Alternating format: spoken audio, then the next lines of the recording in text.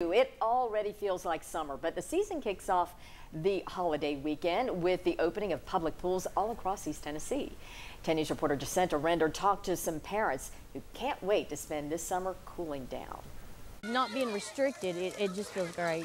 And with the warm weather underway, parents are happy there are fewer restrictions on water activities. Yeah, I mean, it's a beautiful day out here and uh, just trying to get out here so we can cool off. We haven't quite reached the first day of summer yet, but the Knox County splash pads are up and running.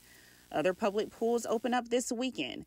The Ed Cothran and Inskip pools in Knoxville open Saturday. Yes, yeah, we're, we're expecting a very busy Memorial Day weekend and we're loaded for bear to prepare for it. And guests can enjoy a day at Inskip Pool with fewer CDC guidelines. This year, numbers are not restricted. Uh, social distance circles are not going to be enforced. And the Oak Ridge City Pool opens this weekend.